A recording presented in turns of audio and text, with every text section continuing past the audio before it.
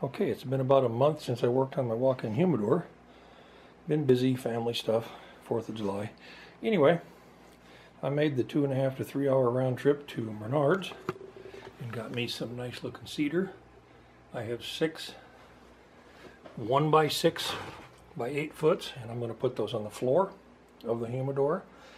Um, I have one 10 foot one by 10 for shelves on the east end and then I have this smaller one here that I can use for an edging on the shelf. So finally going to get a more done. And once I get this done, it's just a matter of putting a door in and um, a humidification system. So I have everything I need. I need my six milliliter plastic, which is right here. And what I will do is I will put the six milliliter moisture or vapor barrier on the floor. And then I will cut these two length and screw them in every one foot with finished Torx head screws. And then on the next board, I'll alternate at six inches and go one foot from there. So that way it'll be even and neat. And I did leave this lip here so that I can slide the board underneath. And that will make a really nice cedar, cedar flooring for this humidor. So when I get part of this done, I will be in touch and I will um, make some more video. So I'll be back with this later. Okay, I use a six milliliter plastic as a vapor barrier. And I have just a standard regular staple gun and the little J21 staples. I folded it over on the edge and everything has been stapled down. And that will create a vapor barrier between the humidity of the humidor and the flooring down below. So what I need to do now is start cutting boards to length and getting those put in starting on that end and then I will work my way out towards the doorway. So I'll get a few of those in and then I'll add more to this later. Okay, hopefully you can see this. I drilled holes every one foot and one inch from each side, the whole length, centered it and started in on both ends at 5 eighths of an inch. So everything should work out perfect. I bought these, our little Torx head finished screws is what they are. The light here is not very good. Move that over there. Some finished Torx head screws. So I'm going to use those. But first, have a little block of wood, and we have to get this pounded in until it's flush. It goes tight because I made sure it was. But always use a block of wood because you don't want to pound on that because you can ding it up. In. That part's in. And that is about as in as it's going to get. So now all we have to do is screw in our Torx heads.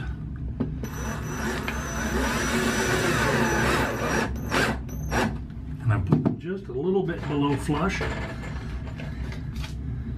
that they don't stick up, but I don't want a big hole.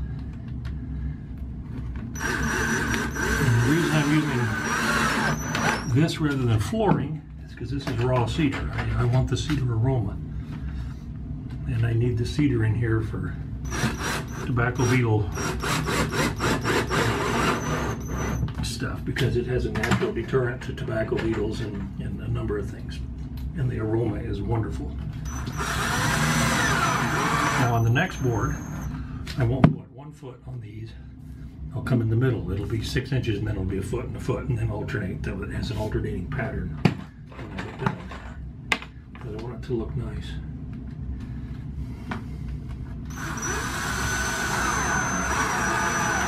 Takes a little extra time to measure out each and every place that you drill a hole but it's worth it in the end, like anything else that you do if you take your time and you're patient. It works out better. Rushing something does absolutely no good at all. So, this is a one by six, which is five and a half inches. I have a few more to do on the end, but as you can see, I'll get this thing to focus. They are flush fit nice on the edge. and that is the beginning of my flooring. So I will put a few more boards in here and I will add more to this and then we'll keep moving forward. Okay, this is the problem with not using actual flooring. Even though those look straight, this front board is warped. So I got it in nice and tight and screwed that end and then once it started to be too far away thing is not focusing. There we go. And I have a little gap in there. So I measured the gap and then I measured the distance between here and the wall added them together and added an eighth of an inch and cut me a board. So if this goes right I should be able to get this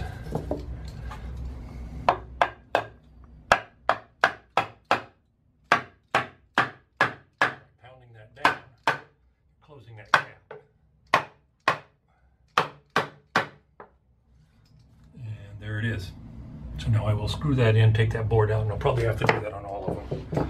But when you're not using actual flooring that's tongue and groove, then you have a little bit of warp. So it's just gonna take a little more time, but I'll check back in later. Okay, I'm slowly gleaning on the floor. I have four of my one by sixes in, and this one here is going to be tricky because this distance between this line and the edge of the wall is less than the width of the board. So short piece of one by six I put in there and I drew a line on the outside of it, the whole length from one end to the other. Once I got that done, all the way across, then I'm able to lay a board in here, square off of this edge over here, out and measure the distance between here and here. And then the distance between here and here, mark that on my board, here and here, and then also the distance on that end from there to there. Same thing on that end, from there to there, and then I marked those and cut these out with a jigsaw.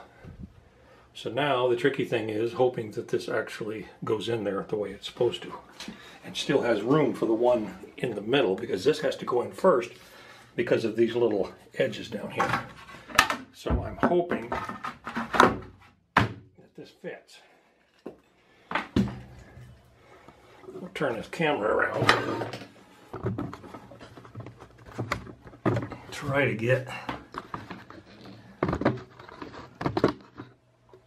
picture of how this is going to work. It's just not going to work. I don't think I can get far enough away.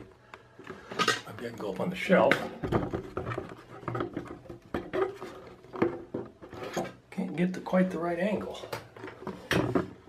Have to go ahead and do this and see if I can get this. I'll see if I can get this board pounded into this notch. And once I get it in there, that's the other board that will go there and I'll see if I can get this together and then I will turn this thing on and add more to it. Okay, I got my flooring done. I think it turned out really, really nice.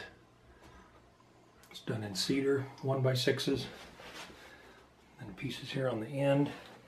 Only thing I have to do now is get one of those edging pieces that goes between the carpet and the facing edge and then get a door so I can see into the humidor and get my humidification system and put shelves up on this side. So I think it's looking pretty good. Flooring looks good. It's coming along nicely.